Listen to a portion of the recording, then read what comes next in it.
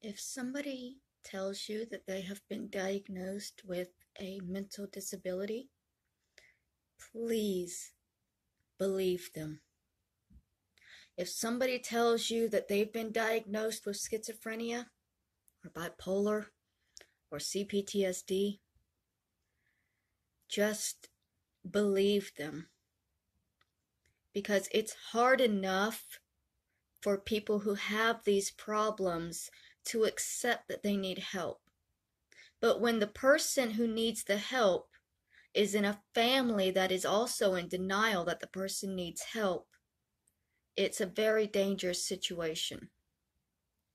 My family is in complete denial about my mental health conditions.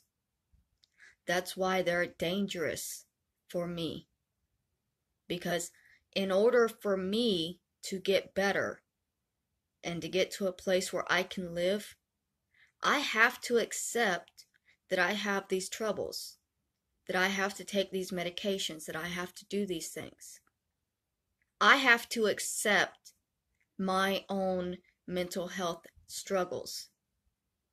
And it's hard to do that in a, in a, in a, in an, a group where everybody else is telling you you don't have anything wrong with you, you're just making it up, you're just lying for attention, it's just drama. That is not how mental health issues work. I did not diagnose myself. I am not medicating myself. I was diagnosed back when I was 18, I was diagnosed as bipolar. It changed to schizoaffective later, and then CPTSD was added. But when I was in school, like elementary school, the teachers wanted me to see a therapist. And my parents wouldn't allow it because they were in denial that there was anything wrong, either in the household or in their child's brain.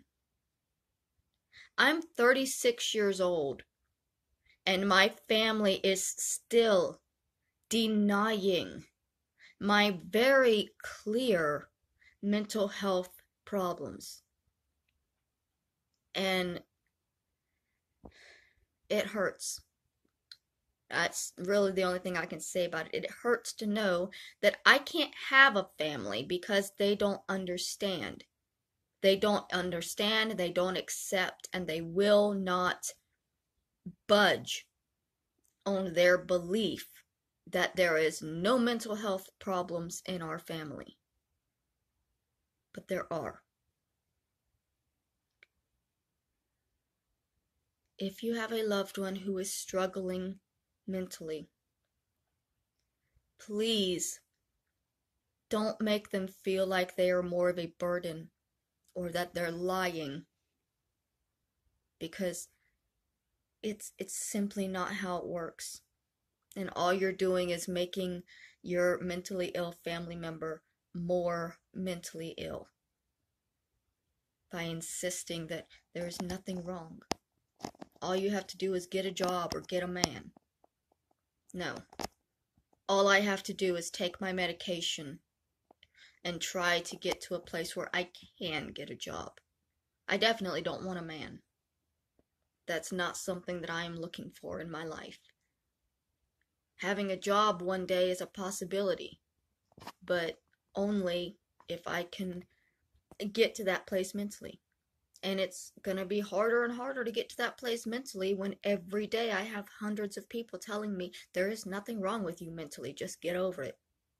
And knowing that many of those people are members of my own family, they share my blood and they have known that I've had these problems my whole life. Even in the interviews, my family will say, Well, she's always been this way. Yeah, I've always been mentally unwell.